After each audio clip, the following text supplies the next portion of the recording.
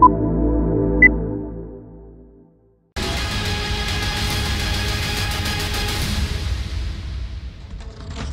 We are in Uttarakhand. हम इस समय उत्तराखंड में हैं, हरिद्वार में हैं। देवभूमि बोलिए इसे the holy city in the world बोलिए।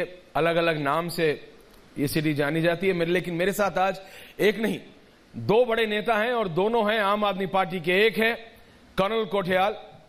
कर्नल साहब, आम आदमी पार्टी के उत्तराखंड में। आ, ना कि सिर्फ़ चेहरा है बल्कि एक ऐसा नाम है जिनको कि ना चाहे वो बीजेपी हो चाहे वो ऑपोजिशन हो यानी जितने भी लोग आम आदमी पार्टी के विपक्ष में है वो भी इन पे पर्सनली अटैक नहीं कर पाते हैं। तो अटैक किस पे करते हैं वो भी व्यक्ति हमारे साथ। Bihar with as the Aam Aadmi party senior most leader Arvind Kejriwal and Delhi chief minister नमस्कार। अरविंद जी। अरविंद जी आ, हम हैं इस समय उत्तराखंड में तो मैं स्टार्ट उत्तराखंड से करता हूँ। कर्नल साहब यहाँ बैठे हैं। आम लोगों से मैं आता हूँ बिल्कुल बॉर्डर से, बिजनौर से। वो मेरा पैतृक गाँव है, बिजनौर, नजीबाबाद। तो अगर उत्तराखंड आना होता तो वहाँ से होके आना होता। तो वहाँ के लोग भी कहते हैं, यहाँ के लोग भी कहते हैं कि देखिए, कर्नल साहब को तो कोई कुछ कह नहीं सकता। कर्नल साहब का ऐसा इम्पेकेबल रिकॉर्ड है। तो अटैक करना है तो ये आदमी है। और आजकल जैसी लैंग्वेज चल रही है, इसको ठोको। अरविंद जी। वो बीजेपी कांग्रेस वाले करते हैं, उनके नेता करते हैं।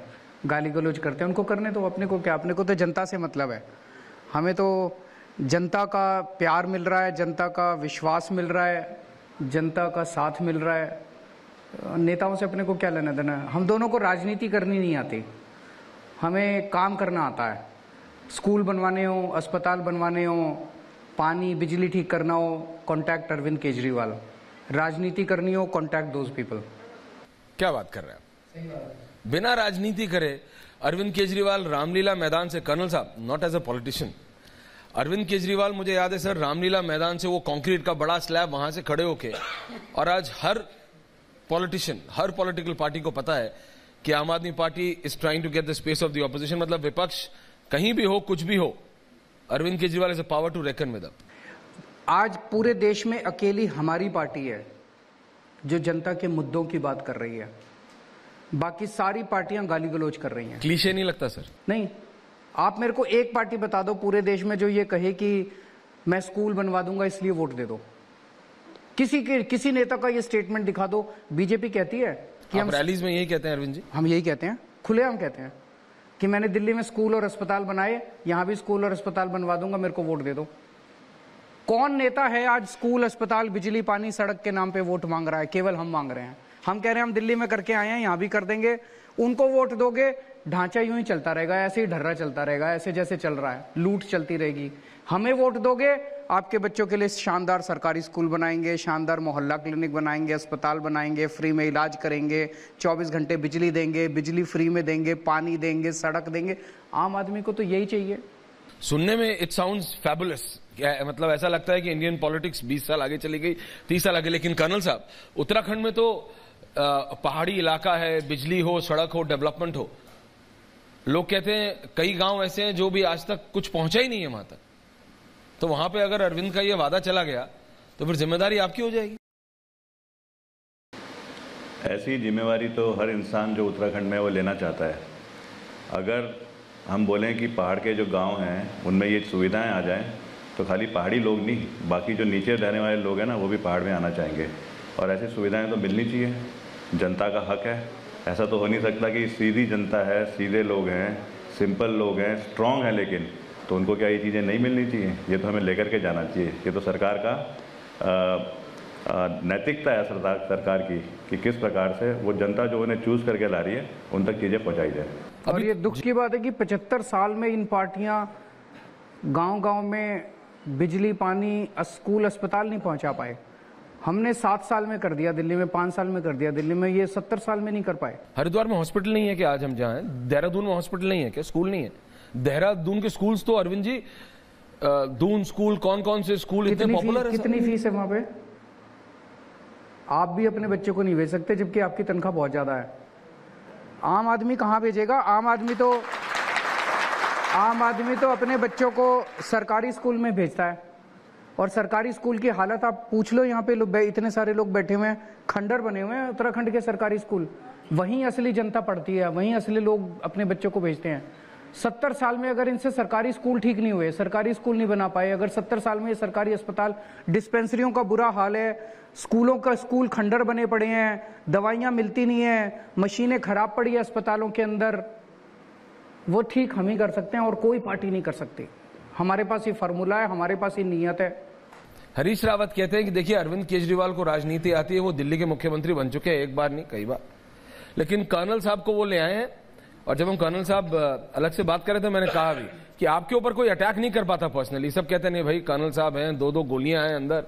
कैसे आप मतलब अटैक करें? पॉलिटिकली अच्छा नहीं साउंड करता अरविंद जी, कि आप एक कर्नल साहब जैसे मतलब इमेज के आदमी पे, जो सर्जिकल स्ट्राइक पे कहाँ कहाँ आपका जो इम्पेकेबल रिकॉर्ड है। तो वो कहते हैं डिलीवरी नहीं, राजनीति और फौज दो अलग अलग चीज़ें फौज डिसिप्लिन से चलती है। राजनीति में आपको राजनीति करनी पड़ती है, जो कर्नल साहब नहीं कर पाएँगे। केदारनाथ इतना बड़ा डिजास्टर था। अगर राजनीति होती तो मेरे को तो नहीं लगता है केदारनाथ बन सकता। अगर राजनीति ही चले तो यूथ फाउंडे यूथ फाउंडेशन जैसी संस्थाएँ, जहाँ से कि फ्री ऑफ़ कॉस्ट ट्रेनिंग लेने के बाद दस दस हज़ार बारह बारह हज़ार बच्चे फौज में भर्ती हो रहे हैं। ये राजनीति से नहीं चलते जो ये लोग चला रहे हैं। ये चलते हैं लीडरशिप से। हमें लीडरशिप आती है उसी लीडरशिप को हम लेके चल रहे हैं। इनकी परिभाषा इनकी रहने देते हैं हमें उससे फ़र्क थोड़ी पड़ता है। हम तो अपनी परिभाषा लेके चलेंगे जो हमें सीखी है जो हमें आती है। लेकिन बीजेपी वाले कहते हैं कर्नल साहब तो आप तो हमारे आदमी थे अरविंद आपको छीन के ले गए। मैं ना पॉइंट ब्लैंक बात करो वो कह रहे हैं भाई आप तो हमारे आदमी थे अरविंद हमको मतलब अरविंद आपको छीन के लगे पता नहीं क्या गुट्टी बिलाई है। दोनों पार्टी ने हमको अप्रोच करा। जब उन्होंने हमारे काम करने के तरीके देखे तो उनको लगा कि शायद ये हमारे साथ आकर आएगा तो हमारी पार्टी अच्छी होगी। मेरे को ऐसा लगता है। लेकिन उनके काम करने के तरीके मेरे को पसंद नहीं आए। कहते ना उठक बैठक जो होती है। सुबह सुबह अगर आप सूर्य के सामने उठक बैठक करो तो शरीर भी स्ट्रांग होता है। लेकिन अगर आप दिल्ली में जाकर के पंद्रह पंद्रह दिन तक आकाओं के सामने उठक बैठक कर रहे हो तो क्या ऐसी पार्टी ज्वाइन करनी चाहिए अजय कोठियाल को? हमें तो वो पार्टी ज्वाइन करनी चाहिए, जो उत्तराखंड के मुद्दों पे को दिल्ली जैसी जगह में साबित कर चुकी है। यहाँ नहीं जाना पड़ता आपको अरविंद जी मनीष जी के पास। मैं दो बार गया हूँ दिल्ली ये सात बार यहाँ पे आए हैं आप समझ जाएँगे। धामी जी चौबीस घंटे वहीं बैठे रहते हैं।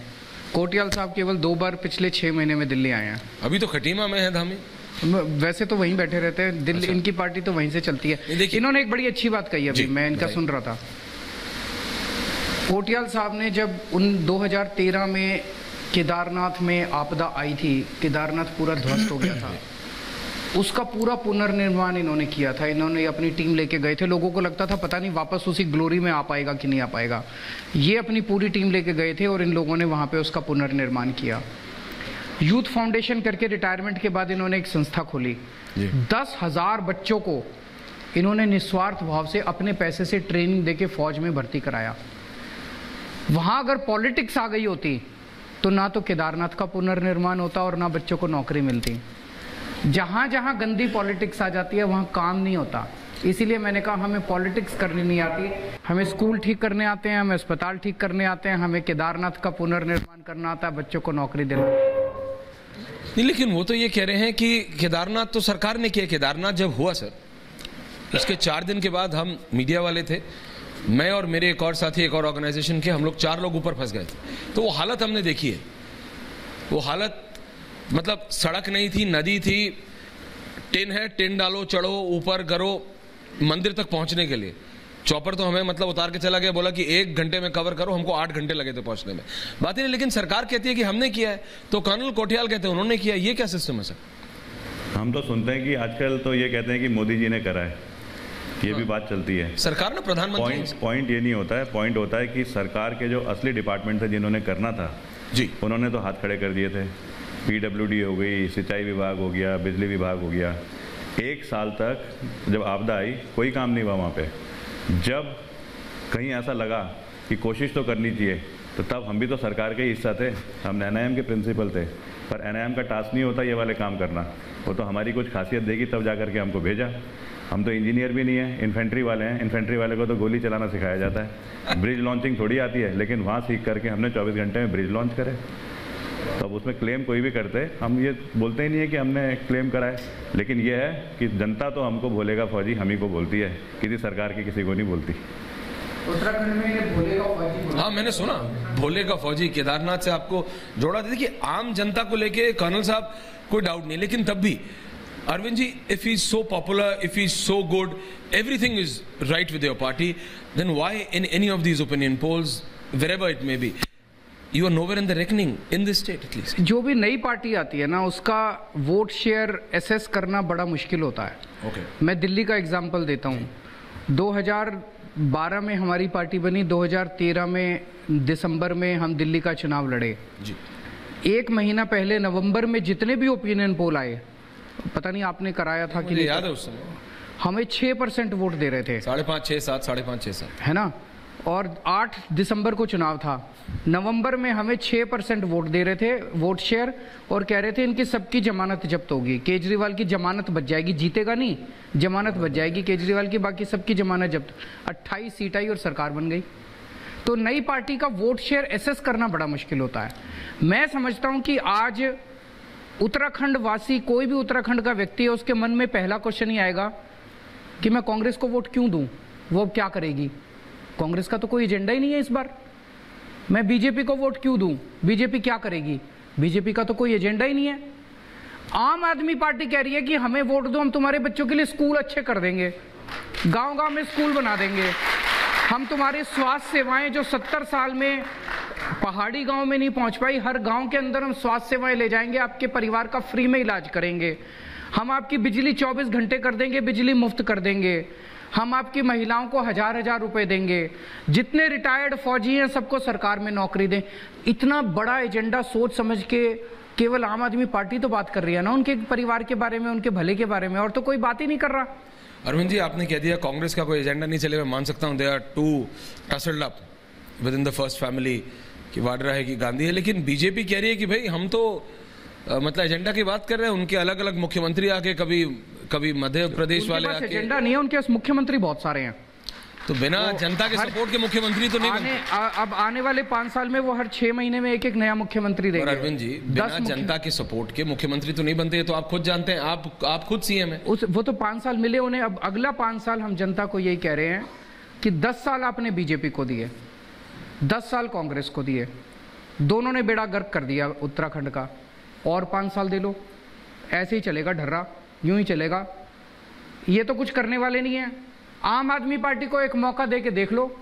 नए लोग हैं, नई पार्टी है, नया चेहरा है, नए कैंडिडेट हैं, नई सोच है, नए आइडियाज़ हैं। हो सकता है कुछ भला हो जाए। ट्राई करके देख लो। ट्राई करने में तो कोई हर्ज नहीं है। अगर काम अच्छा नहीं करे, अगली बार उठा के फेंक देना। ट्राई करके देख ले। आपने कहा कि देखिए, बीजेपी और कांग्रेस पॉलिटिक्स करती है, मैं नहीं करता हूँ। अभी पिछले 24 घंटे में जितना ट्रैक्शन आपके ट्वीट्स को मिल रहा है, कर्नल साहब हम जिस थोड़ा सा मैं थोड़ा रूट चेंज कर रहा हूँ। जितना ट्रैक्शन अरविंद जी आपके ट्वीट्स को मिल रहा है, आपके कमेंट्स को मिल रहा है, अभी हम लिफ्ट से नीचे उतर रहे थे तो एक व्यक्ति वहाँ टकराया। आपको याद हो तो उसने भी कहा ट्वीट ट्वीट चल रहा है सर बहुत पॉपुलर हो रहा है ट्वीट ट्वीट आपका और उत्तर प्रदेश के मुख्यमंत्री योगी आदित्यनाथ।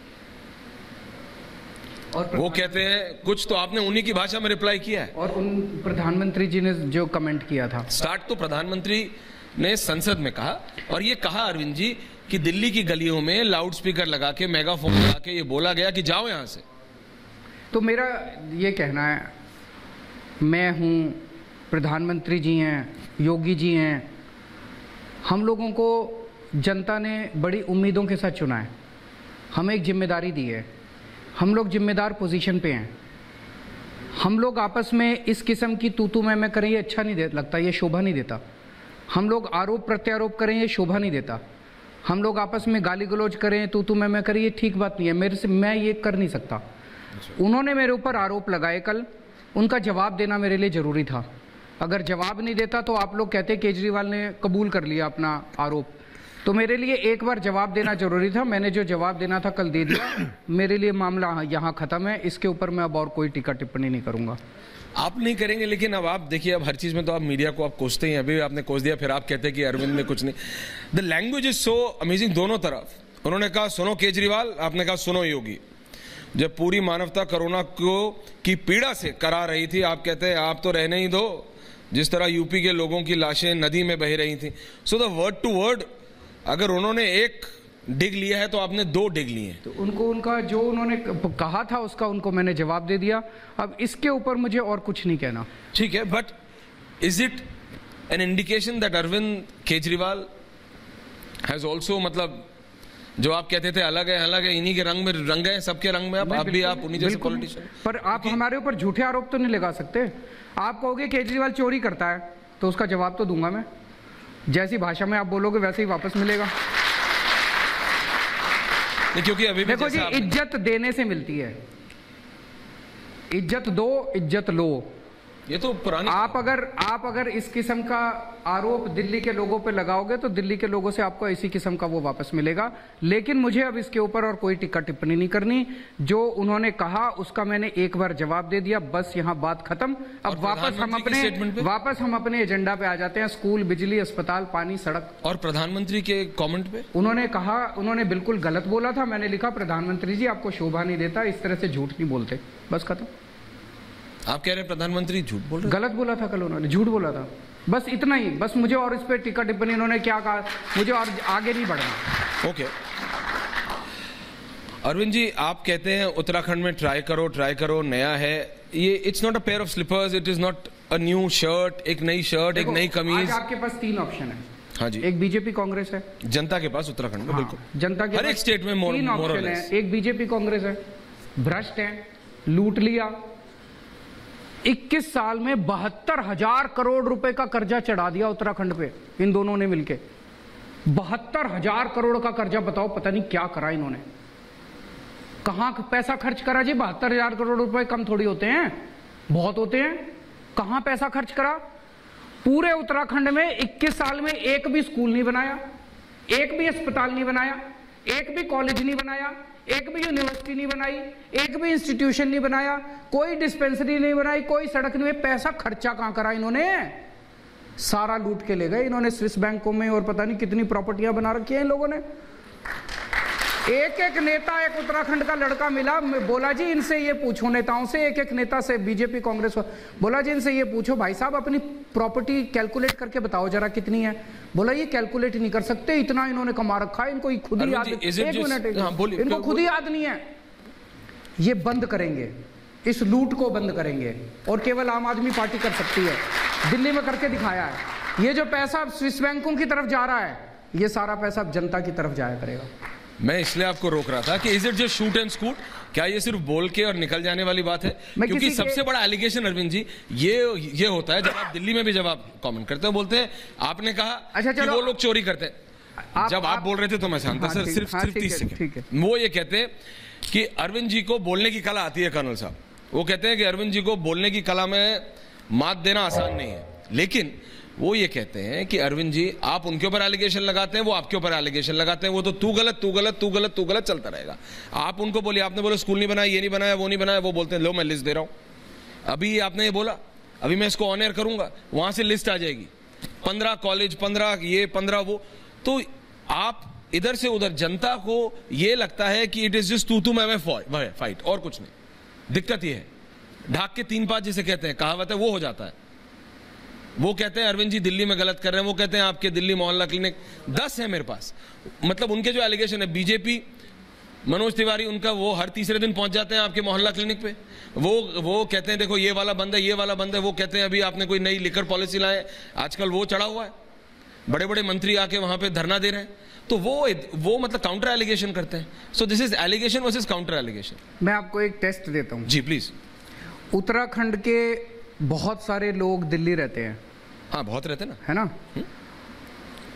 मुझे लगता है कि दिल्ली उत्तराखंड के हर परिवार में कोई ना कोई अ, आप किसी को रिश्तेदार दोस्त जान पहचान वाला दिल्ली ज़रूर हाँ, रहता है। आप दिल्ली में फ़ोन कर ये नेताओं के पतले वो मत करो ये बिल्कुल सही कह रहे हैं। भाई मैं चार चीज़ बोलूँगा वो भी चार चीज़ बोलेंगे इसमें कुछ नहीं रखा। जी। आप उत्तरा आप, आप दिल्ली में किसी भी यार दोस्त रिश्तेदार को फ़ोन करके पूछ लो और उससे पूछो भाई केजरीवाल सही काम कर रहा है? खुश हो। अगर वो कहे कि केजरीवाल सही काम नहीं कर रहा मेरे को वोट मत देना उत्तराखंड में। इतना कॉन्फिडेंस जी। इतनी बड़ी बात और कोई पार्टी वाला बोल सकता है? नहीं नहीं बट इतना कॉन्फिडेंस है। है? मैंने दिल्ली के चुनाव के पहले बोला था।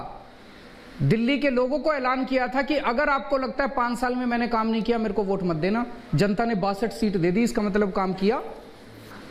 अब मैं उत्तराखंड के लोगों को मैं गोवा में भी कह के आया हूँ। दिल्ली में अपने रिश्तेदारों को फ़ोन कर लेना, दोस्तों को फ़ोन कर लेना, पूछना भाई, केजरीवाल के काम से खुश हो? वो कहे, नहीं, केजरीवाल ने सही काम नहीं करा, वोट मत देना मेरे को उत्तराखंड में। और अगर कहे सही काम किया, नेताओं को भूल जाओ, फिर वोट दे देना, यहाँ भी दे देना, यहाँ भी ठीक कर देंगे। क्या कांग्रेस कह सकते हैं कि राजस्थान में फ़ोन करके पूछ लो कि सही काम किया कि नहीं किया? क्या बीजेपी कह सकती है? मध्य प्रदेश में या उत्तर उत्तर प्रदेश में फ़ोन करके पूछ लो सही काम किया बीजेपी तो कहती है यूपी में करो। बीजेपी तो कहती है बीजेपी का तो यही फ़ोन करके मुझे सारे बैठे हैं इनसे पूछ लो अच्छा काम करा कि नहीं करा। कर्नल साहब आपकी चॉइस अरविंद जी। उत्तराखंड में आम आदमी पार्टी ने कर्नल साहब को चॉइस किया। हमने कर्नल साहब को चुना। हाँ। आपने अभी आपने भी सर्टिफिकेट दिया सारे पार्टी वाले कह रहे यार सारे कहते हैं। सारे कह रहे हैं आदमी रिकॉर्ड ऑफ़ रिकॉर्ड सारे कहते हैं। आदमी तो अच्छा चुना। वो तो ये कहते हैं कि बीजेपी से ले आया हरीश रावत के बारे में कहते हैं कि आदमी तो अच्छा चुना। पर वो जड़ के नेता धामी साहब के धामी साहब के बारे में कहते हैं कि भाई आदमी तो अच्छा चुना। पर वो कहते हैं हमारे वाले को सारे कहते हैं भाई आदमी तो सही चुना। अब आदमी सही चुना। इतने सारे काम कर दिए इन्होंने। जब ये राजनीति में नहीं थे तभी इतने काम कर दिए।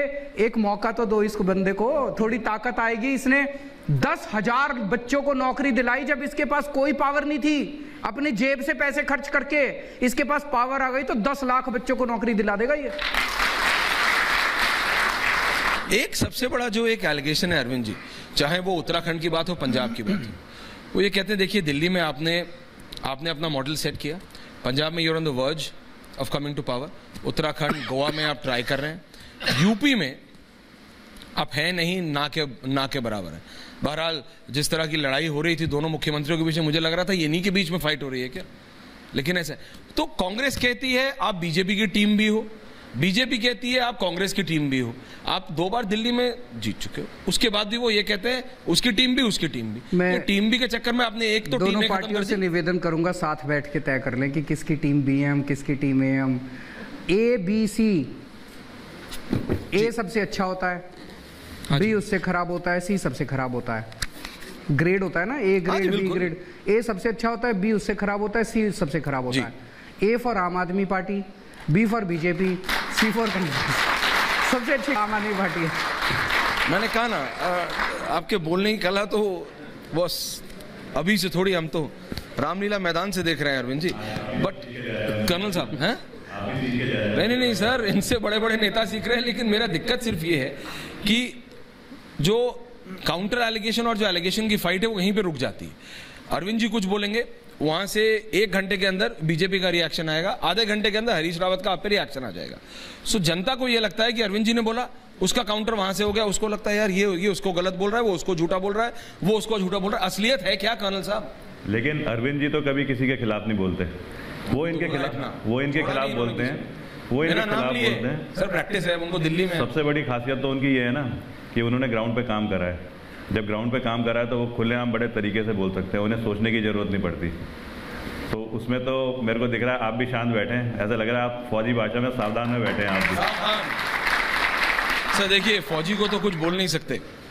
और आपको कर्नल साहब, जैसे मैंने कहा you have an impeccable reputation sir so it's always to learn from you उसमें कोई डाउट नहीं है।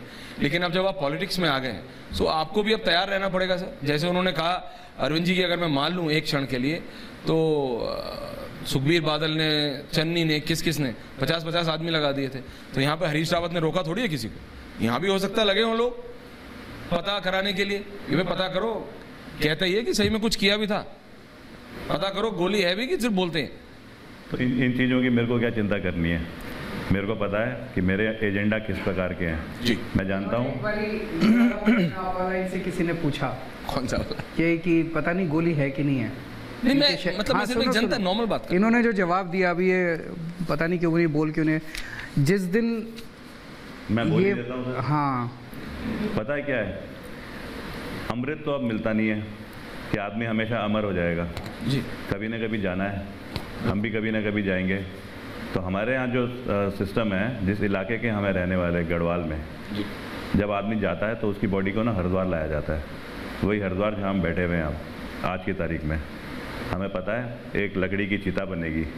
उसके ऊपर हमें लिटाया जाएगा। उसके बाद आग लगाई जाएगी। हमारे तो कोई बच्चे भी नहीं हैं, लेकिन इतने सारे बच्चे उत्तराखंड में, वो कहीं हमारी चिता जला रहे होंगे। जब चिता जल रही होगी ना तो अचानक आवाज़ आएगी। टन टन। दो लोहे के टुकड़े जो आज तक हमारे साथ में हैं, वो ज़मीन पर गिर रहे होंगे। तो हमें किसी को बताने की ज़रूरत थोड़ी है। वो तो लोहे का टुकड़ा, जो पाकिस्तानी लेकर के आया था, उसको मैं इस पावन भूमि में छोड़ूँगा अपने शरीर से। मैंने बाहर भी नहीं निकाला है उसको। अरविंद जी टू हैप्पी अरविंद जी कह रहे हैं ऐसा आदमी मेरे को एक और कहीं इधर उधर मिल जाए तो मैं एक और और एक दो सरकार और बना लूँगा है अरविंद जी आपकी स्माइल बता रही है कि मेरे को ऐसा आदमी एक दो और मिल जाए but Arvind ji do you feel that it is that easy Punjab में आपके पास एक ऐसा था क्योंकि फार्मर्स प्रोटेस्ट हुई अरविंद केजरीवाल चुप रहे इतनी बड़ी प्रोटेस्ट हुई आए वापस ले लिए प्रधानमंत्री ने मैंने देखा नहीं कि इस तरह का हो। प्रधानमंत्री ने आए माफ़ी मांगी प्रधानमंत्री ने कहा I am taking it back लेकिन अरविंद केजरीवाल चुप रहे।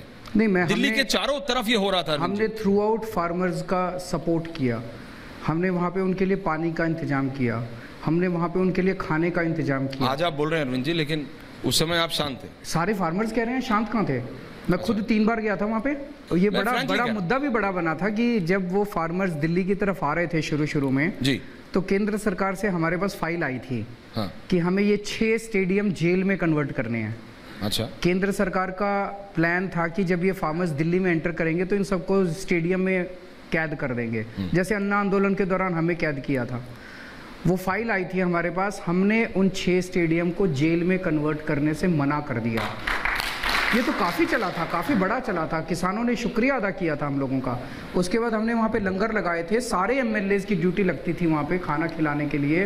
पानी का इंतज़ाम किया था टॉयलेट का इंतज़ाम किया था वहाँ पे सारा इंतज़ाम किया था हमने तो अगर इतना अच्छा है अरविंद जी तो फिर वेस्टर्न यूपी में आम आदमी पार्टी हर चीज़ चुनाव के साथ थोड़ी होती है।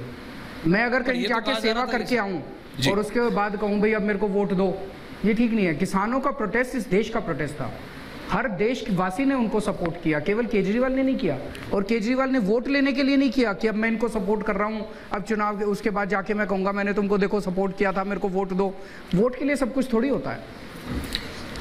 एक मुख्यमंत्री कह रहा है वोट के लिए सब कुछ होता। ये अपने आप में सरप्राइजिंग है कर्नल साहब मैं सही कह रहा हो। देश के अंदर कि एक मुख्यमंत्री कह रहा है कि मैं वोट के लिए देश के लिए काम करता हूँ हूँ एक एलिगेशन अरविंद जी आप पे लगाया जाता है क्योंकि मैं मैं ये सिर्फ़ भी ये देख देख रहा हूँ हूँ। कि आपके क्वेश्चन खत्म होते जा रहे हैं। नहीं नहीं क्वेश्चन तो बहुत है सर मेरे को बोला गया कि आपके पास टाइम कम है आपकी फ़्लाइट है। बट मैं ये कह रहा हूँ एक एलिगेशन आपके ऊपर बीजेपी लगाती है और बहुत दमखम से लगाती है कि आपने दिल्ली के टैक्स पेयर्स का पैसा हरिद्वार साइफन कर दिया। मतलब साइफन मींस आपने आम आदमी पार्टी के प्रमोशन में पंजाब में बहुत ज़्यादा लगा दिया थोड़ा बहुत उत्तराखंड लगा दिया थोड़ा बहुत यूपी में भी आप ले गए। वो तीर्थ यात्रा जो भेज रहा हूँ। तीर्थ यात्रा में नहीं नहीं नहीं वो कह रहे टैक्स पैसे आपकी एम्बुलेंसेज वहाँ पे पंजाब में पड़ी रहती हैं बोलते हैं कि दिल्ली वालों का पैसा एंबुलेंस पंजाब में कौन सी मुझे नहीं पता सर एंबुलेंस आपकी सरकार आपकी एलिगेशन बीजेपी वाले लगाते हैं ऑन रिकॉर्ड है क्या है वो ये कहते हैं कि Channi says he will sue you. Are you worried? Chief Minister Channi has called you a fraud. After the raids in Punjab, he says कि ये सारी चीज़ें हो रही नहीं, ये इसका अगला है। मैं आपको बताता हूँ। वो ये कहते हैं दैट अरविंद केजरीवाल बीजेपी कह रही है। बीजेपी के दिल्ली स्टेट प्रेसिडेंट कह रहे हैं फॉर्मर स्टेट प्रेसिडेंट कह रहे हैं एमपीज कह रहे हैं कि दिल्ली के टैक्स पेयर्स का पैसा अरविंद केजरीवाल पंजाब में आम आदमी पार्टी के प्रमोशन के लिए लगा रहे हैं। आम आदमी पार्टी की एम्बुलेंसेज पंजाब में घूम रही हैं। हमारे पास विजुअल प्रूफ है। ये एंबुलेंस किसके पैसे से खरीदी है अरविंद जी? दिल्ली के टैक्स पेयर्स की। तो पंजाब में क्या कर रही है? देखो पहली बात तो ये गलत है दिल्ली की एंबुलेंस पंजाब में नहीं जा सकती और ना जा रही। लेकिन फ्रैंकली अगर मेरे पास पैसा हो तो दिल्ली की एंबुलेंस मैं सारे देश में भेज दूँगा। सेवा का काम कर रहे हैं यार क्या गलत काम कर रहे हैं? अगर पंजाब के अंदर हमारी एंबुलेंस जाती है हरिद्वार में जाती है उत्तर प्रदेश में जाती है तो भलाई करके आती है लोगों का। गरीबों को बेचारों को बीमार आदमी को अस्पताल ही ले जाती होगी। लेकिन जा नहीं रही है। लेकिन अगर कभी मेरे पास इतना पैसा हुआ मेरी चली तो मैं पूरे देश में एंबुलेंस कोने कोने में भेज दूँगा। पर दिल्ली में? दिल्ली में भी है। दिल्ली में बहुत है एंबुलेंस तो आप कह रहे हैं ये सब गलत है? दिल्ली का मेरे को तो ये दिल्ली समझ नहीं आ रहा क्या ये क्या है? बीजेपी वाले शायद मुझे गाली देते देते उन उनकी गालियाँ भी खत्म हो गई।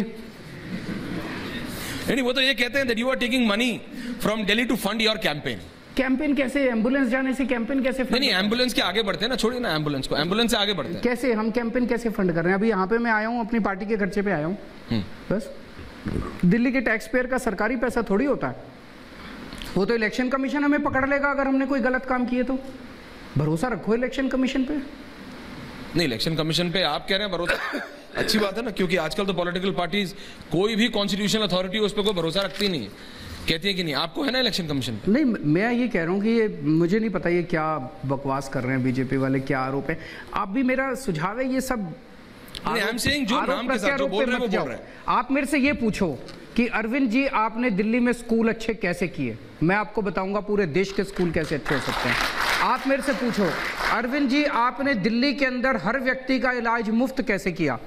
मैं आपको बताऊँगा कि तो दिल्ली इतना में बड़ा काउंटर है अरविंद इतना बड़ा काम करके आए हैं। चार सत्तर साल में जो ये इतनी बड़ी पार्टियाँ इस देश के अंदर शिक्षा और स्वास्थ्य पे नहीं कर पाई बिजली ये ठीक नहीं कर पाई हमने सात साल के अंदर करके दिखा दिया बिजली का तो मैं ये सोच रहा था that I keep it for the last but मैं आता हूँ अभी इस पे। एक कहे है कि अरविंद केजरीवाल फ्री भी गेम खेल रहे हैं। फ्रीबीज वाला गेम खेल रहे हैं। कि हर चीज़ फ्री दे दो हर चीज़ फ्री दे दो। इतना यूनिट फ्री दे दो इतना अच्छा यूनिट पानी फ्री दे दो। बताओ। अगर मैंने एक सरकारी स्कूल ठीक कर दिया शानदार कर दिया उसमें गरीबों के बच्चे जाके पढ़ते हैं उनको फ्री एजुकेशन मिलती है इससे बड़ा राष्ट्र निर्माण का काम कोई हो सकता है? बीजेपी वाले कहते हैं केजरीवाल फ्री में क्यों पढ़ा रहा है बच्चों को? वो कहते हैं फ्री में बिजली पढ़ाना। क्यों दे रहे फ्री में नहीं पढ़ा सर, वो कहते आ रहा हूँ मैं में- भी। अस्पताल शानदार कर रहा हूँ सरकारी अस्पताल शानदार कर दिए वहाँ पे बिजली दवाइयाँ टेस्ट इलाज ऑपरेशन सब मुफ़्त है गरीबों के लिए। इससे बड़ा राष्ट्र निर्माण का काम कोई हो सकता है। फिर मैंने बिजली मुफ़्त करी। दिल्ली में 200-200 यूनिट, यहाँ पे मैंने कहा 300 यूनिट बिजली मुफ़्त करेंगे। कह रहे हैं, केजरीवाल बिजली मुफ़्त क्यों कर रहा है? वो अमित शाह जी गोवा गए। बोले, केजरीवाल, मुफ़्त मुफ़्त मुफ़्त मुफ़्त कर रहा है। मैं पूछना चाहता हूँ, अमित शाह जी को सरकार से हर महीने कितनी मुफ़्त बिजली मिलती है? चार हज़ार यूनिट। सारे पॉलिटिशियंस को मिलती है। कम से कम चार हज़ार। आपको? आप भी तो सीएम इतने ही तीन चार हज़ार यूनिट मुफ़्त आपको भी तीन चार हज़ार। हाँ। सबको बराबर मिलती मंत्री को चार हज़ार यूनिट बिजली मुफ़्त मिलती है। जनता के पैसे से मिलती है। मैं कह रहा हूँ जनता को 300 यूनिट बिजली मुफ़्त दे दो तो मिर्ची लगती है इनको। ये साउंड्स बहुत अच्छा। जनता के पैसे से जनता को फ्री बिजली नहीं मिलनी चाहिए। जनता के पैसे से नेताओं को फ्री बिजली मिलनी मिलती रहे उसमें कोई दिक्कत नहीं है। वो फ्री भी नहीं है ये फ्री भी हो गया। ये क्या है भाई फ्री भी? विदेशों के अंदर इसको सोशल सिक्योरिटी कहते हैं अंग्रेज़ी में। अमेरिका में लंदन में इसको सोशल सिक्योरिटी कहते हैं। हम भी सोशल सिक्योरिटी कर रहे हैं। आपको लगता है दिल्ली जैसा हिंदुस्तान मैं बताऊँ ये सारी बारियाँ मेरे को गाली क्यों दे रही है? वो गाली इसलिए दे रही है ये केजरीवाल ने बिजली फ्री बांट दी सबका फ्री इलाज कर दिया सबको फ्री शिक्षा दे दी महिलाओं को हज़ार हज़ार रुपए दिए। इनके लूटने के लिए पैसा नहीं बचेगा फिर यहाँ पे। ये सारा लूट के ले जाते हैं वो सारा पैसा जनता में चला जाएगा। अरविंद जी आपको सुन के अभी भी लगता नहीं है कि आप रामलीला मैदान से और अभी तक आपका पॉइंट वही है कि पैसा लूट के ले गए पैसा लूट के ले गए पैसा लूट के ले गए? एक्चुअली लूट रखा है। ऐश्वर्या आप इनसे पूछना दोनों पार्टी आप तो बड़े नेता हो सॉरी बड़े जर्नलिस्ट हो। दोनों इनके पास जाओगे इनसे पूछना ये हिसाब दो जनता हिसाब मांग रही है उत्तराखंड की कि बहत्तर हज़ार करोड़ रुपए का कर्जा चढ़ा कैसे? तुमने करा क्या इसका? इस पैसे का करा क्या तुमने? बहत्तर हज़ार करोड़ में तो पता नहीं कितने स्कूल बन जाते हैं। बम बम हो जाता उत्तर उत्तराखंड पता नहीं कितने अस्पताल बन बिल्कुल जाते हो जाता बम बम जो आप जो आप गया कहाँ ये पैसा? गया कहाँ ये पैसा? लेकिन अरविंद जी गया काम वो तो कहते हैं सारा हिसाब है सरकार के सिस्टम में बैठो जवाब दो। दिखाओ। एक तो हिंदुस्तान में तैयार होनी चाहिए दिल्ली में एक पुल बना। अब वजीरपुर हाँ जी। फ्लाईओवर। हाँ जी।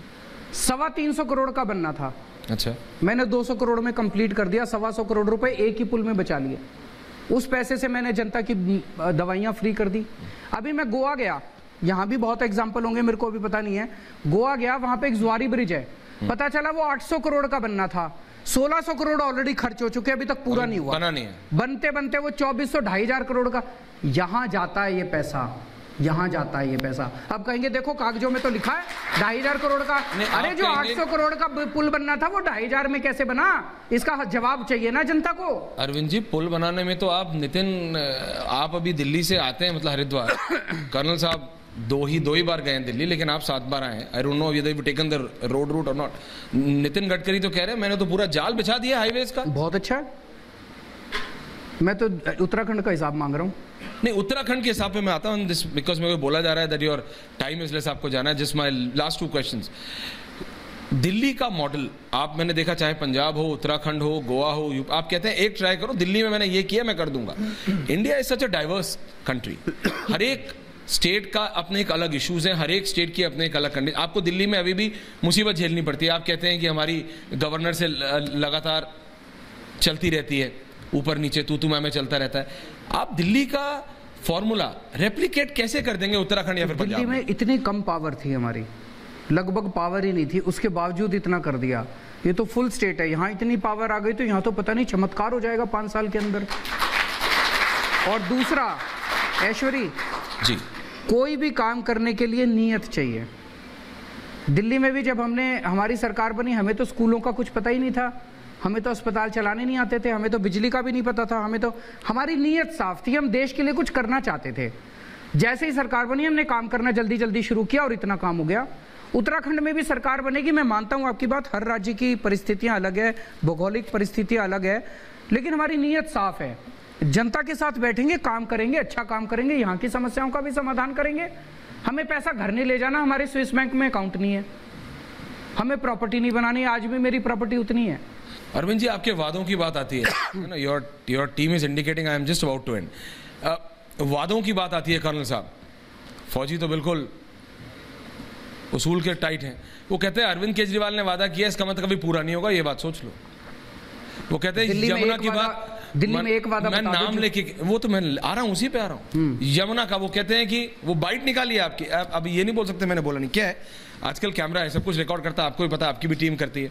तो उन्होंने आपकी कोई एक बाइट निकाली। उसमें आप कह रहे हैं यमुना मैं साफ़ करके दूँगा। यमुना को मैं इतने समय में साफ़ करके दूँगा। अब जब आपसे दोबारा पूछा गया आप कहते हैं मैं अब साफ़ करके दूँगा 25 तक या 24 जो आपका नया वादा है। तो वो कहते हैं देखो अरविंद केजरीवाल आते हैं बोलना बहुत अच्छा आता है वादे नए नए करते हैं लेकिन हर बार जैसे ही वादे का टाइमलाइन खत्म होना है नया वादा। हमने दिल्ली में कहा था हम बिजली के रेट आधे करेंगे। हाँ। हमने अपने वादे से बढ़ के बिजली मुफ़्त कर दी। हमने कहा था हम स्कूल अच्छे करेंगे। दिल्ली के स्कूल शानदार कर दिए। हमने कहा था, हम हर आदमी को मुफ़्त इलाज देंगे। हमने मुफ़्त इलाज दे दिया, सरकारी अस्पताल शानदार कर दिया हमने कहा था, हम मोहल्ला क्लिनिक खोलेंगे। हमने मोहल्ला क्लिनिक खोल दिए। यमुना के लिए हमने 2025 की डेडलाइन दी थी। आज भी मैंने तीन चार बार जगह जगह कहा, आज आपके चैनल पे भी करके जा रहा हूँ 2025 तक अगर मैं यमुना साफ़ ना करूँ 2025 में दिल्ली वाले मेरे को वोट ना दें। ऑन रिकॉर्ड है हैं? ऑन रिकॉर्ड है अगर ऑन रिकॉर्ड है आप चला देना 2025 में जगह जगह कॉलोनी में चला तो देना अगर करूँगा कि 2025 तक यमुना साफ़ ना हो मेरे को वोट मत देना। और आज उत्तराखंड को के, के लोगों को मैं कह के जा रहा हूँ आपसे वादा करता हूँ पाँच साल दे दो आपके सारे सरकारी स्कूल ठीक कर दूँगा सारे सरकारी अस्पताल ठीक कर देंगे गाँव गाँव के अंदर स्वास्थ्य सेवाएँ पहुँचा देंगे अगर ना पहुंचाएँ तो अगली बार हमें वोट मत देना 2027 में। कर्नल साहब लास्ट सवाल टू यू कर्नल साहब अरविंद ने बोल दिया कि ये सब हो जाए। प्रैक्टिकली उत्तराखंड में जो उत्तराखंड की डाइवर्सिटी उत्तराखंड के टेरेन को समझते हैं। आप you think it is deliverable या सिर्फ़ ये नेताओं के वादे हैं दिल्ली से आए बड़े नेता हैं चले जाएँगे? आपको यहाँ रहना है आपको फेस करना है। एक सेकंड मत देखिएगा मतलब अपने राइट पे। Arvind is smiling too loud मत मत देखिएगा आप बोलिए। नहीं मैं तो आपकी स्माइल देख रहा हूँ। सर उत्तराखंड में जो है यहाँ तो और आसान है करना। आसान है। दिल्ली में तो ज़मीन भी दिल्ली सरकार के पास नहीं है। लॉ एंड ऑर्डर दिल्ली सरकार के पास नहीं है। कोई कानून जो पास होता है तो लेफ्टिनेंट गवर्नर वो भी केंद्र का भेजा हुआ है। उत्तराखंड में देखो ज़मीन भी हमारी है लॉ एंड ऑर्डर भी हमारा है गवर्नर भी हमारा है और हमारी जनता जो है मतलब एक स्वाभिमानी जनता है इसी जनता ने आंदोलन करके उत्तराखंड को यूपी से अलग करा था। और जो मुद्दे थे वही तो मुद्दे हैं जिसपे कि दिल्ली सरकार ने अरविंद केजरीवाल जी ने साबित करके दिखाया दिल्ली में। अगर रोज़गार की बात है तो उत्तराखंड में तो रोज़गार के इतने ज़्यादा संसाधन हैं लेकिन हो नहीं पा रहे हैं। यहाँ पे स्कूल आपने बोला दून स्कूल यहाँ तो सबसे अच्छे स्कूल गवर्नमेंट के बन बन, बन सकते हैं। क्यों नहीं बन सकते जब दून स्कूल रेप्लीकेट करने के लिए जब दिल्ली का मॉडल रेप्लीकेट करने के लिए? यहाँ तो बिजली पैदा होती है सच में स्कूल नहीं है? यहाँ पे जो है इसको बोलते हैं ऊर्जा प्रदेश। गंगा नदी हमारी है। जी। टीरी डैम जो है जो सबसे ज़्यादा बिजली देता है वो हमारी ज़मीन के ऊपर है। यहाँ पे बिजली के बड़े बड़े बिल आते हैं। दिल्ली जैसी जगह जहाँ नदी भी नहीं है और जहाँ डैम भी नहीं है वहाँ बिजली मुफ़्त हो सकती है। यहाँ क्यों नहीं हो सकती? तो वादे थोड़ी है। यहाँ तो हकीकत में और साबित करने वाली चीज़ें हैं। अरविंद जी जैसे मैं डिबेट में कहता हूँ last ending 30 seconds to you what's your statement on this on complete national perspective मैं उत्तराखंड के लोगों से अपील करना चाहता हूँ कि आपने 10 साल बीजेपी को दिए 10 साल कांग्रेस को दिए इन्होंने उत्तराखंड को बर्बाद करने में कोई कसर नहीं छोड़ी दोनों पार्टियों ने। और पाँच साल दोगे, ऐसे ही चलेगा, ढर्रा कुछ बदलने वाला नहीं है। इन पार्टियों को अगर और पाँच साल दिए। एक बार आम आदमी पार्टी को मौका दे के देखिए, हमने दिल्ली में बहुत अच्छे काम किए हैं, उत्तराखंड में बहुत अच्छा काम करेंगे। अगर काम ना करें, अगली बार वोट मत देना। लेकिन मैं आपको विश्वास दिलाता हूँ, जैसे दिल्ली के अंदर लोग, बीजेपी और कांग्रेस दोनों पार्टियों को भूल गए, उनको वोट ही नहीं देते। पाँच साल के बाद उत्तराखंड के अंदर आप भी इन दोनों पार्टियों को भूल जाएँगे। इतना अच्छा काम हम करके दिखाएँगे। अरविंद केजरीवाल बट अरविंद जी दिल्ली में एमपी अभी भी शायद बीजेपी के बन गए थे ना पिछली बार? एमपी उनके बीजेपी के हैं। तो दिल्ली के वोटर ने वोट किया होगा। वो किया लेकिन नेशनल पर्सपेक्टिव में वो facts. हाँ नेशनल पर्सपेक्टिव में वो वो नैरेटिव नहीं है। भाई हम हम नेशनल लेवल पे एक वोटर सोचता है अरे कि अब आप पंजाब में सरकार बनाने की बात कर रहे हैं उत्तराखंड में आप यहाँ बैठे हैं गोवा में आप जाते हैं यूपी में आपके आदमी है अब तो आप भी नेशनल पार्टी हुए। तो देखते हैं अगली बार क्या होता है। So that was Arvind Kejriwal कह रहे हैं कि अगर जो वादा कर रहे हैं एंड ऑन रिकॉर्ड नहीं करूँगा तो वोट मत करना। Colonel Kothiyal and Arvind Kejriwal thank you so much sir for talking to Republic thank you sir